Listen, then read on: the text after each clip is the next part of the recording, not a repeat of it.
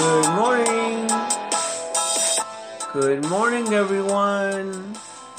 How is everyone today? Happy? Sad? Melancholy? Dreading going to work or are you charged? Little coffee, little OJ. Anyway, uh, I'm doing fine. Thank you for asking. Uh, been very busy. I wrote a poem. Uh, yesterday, and I don't know if this has ever happened to anyone besides me, that you're typing and typing and typing and getting something out, and then all of a sudden you look up at your screen and not one word typed. In other words, uh, the page moved on to something else and you lost your post or whatever you're writing. Well, that happened to me yes yesterday, and I tried to salvage a few pieces of what I was trying to say from my memory. Um, sometimes someone says something to me, and those words will uh, lead to a poem. Anyway, here we go. I uh, this is a poem that has something to do with everyone. It's called Honey, I Just Looked in the Mirror. Okay, here we go. Honey, I just looked in the mirror and and I see an old man. What when did this happen to me and why did you not tell me?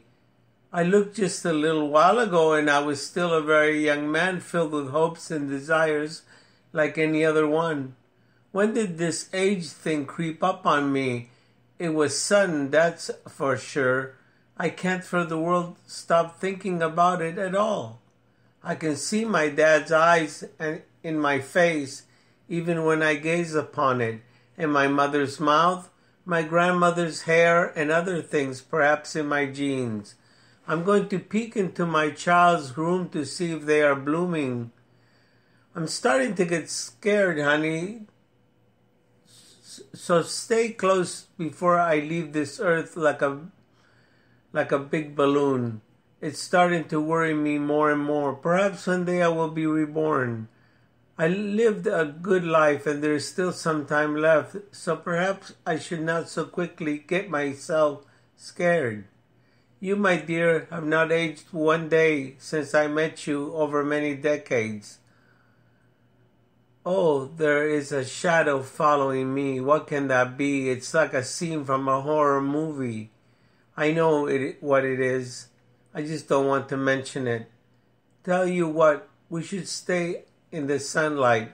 It's safer there. The glow of the sun will keep us safe forever and a day. But if all this catches up with me, it's okay. It's honorable to give way to the next generation let them carry the ball. I have done so for so long. It's an invite that our time comes up and there comes and there it comes. It's a happy bus. Please reshare.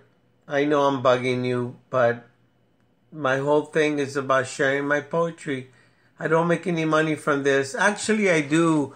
I must confess that since I started doing this podcast about three months ago, I have made 87 cents. And my big problem is I just don't want to spend it all in one place. Bye bye.